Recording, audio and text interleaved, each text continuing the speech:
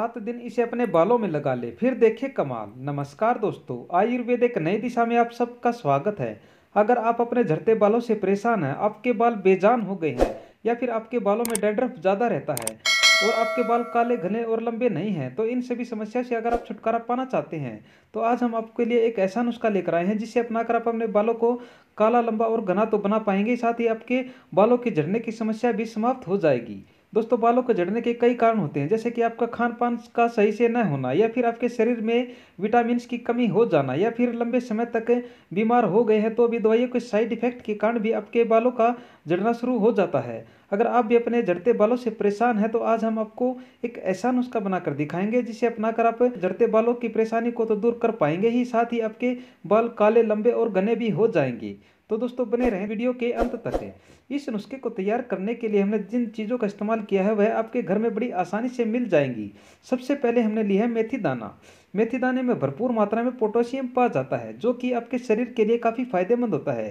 साथ ही इसमें एसिड और प्रोटीन पा जाता है, जो कि बालों की ग्रोथ के लिए बहुत ही अच्छा माना गया है।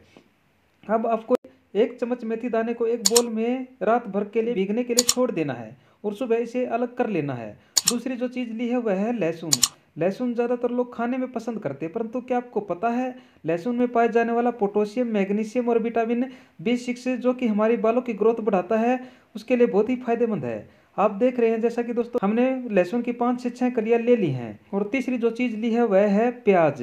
प्याज दोस्तों, आपको लाल रंग का ही लेना है, क्योंकि लाल रंग के प्याज में अल्सर की मात्रा अधिक होती है।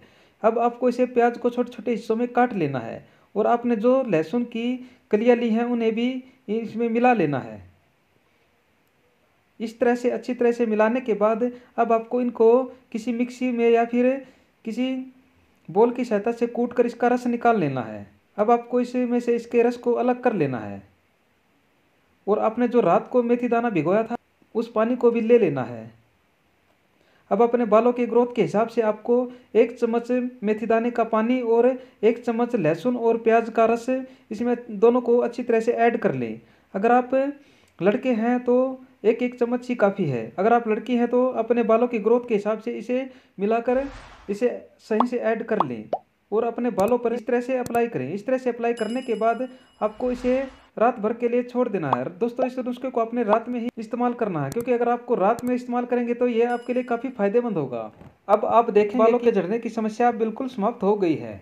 तो इस प्रकार से अगर आप इस नुस्खे को अप्लाई करते हैं तो आप अपने बालों को काला, लंबा और घना तो बना पाएँगे, साथ ही आपके बालों की झड़ने की समस्या भी समाप्त हो जाएगी। ये थी दोस्तों आज की जानकारी। उम्मीद करते हैं आपको पसंद आई। अगर आपकी ये जानकारी काम की है तो अपने दोस्त और फैमिली में इसे शेयर करें, ताकि उन्हें भी इसका फ़ायदा मिल सके। मिलते हैं तब तक दोस्तों एक नए वीडियो में। जय हिंद दोस्तों।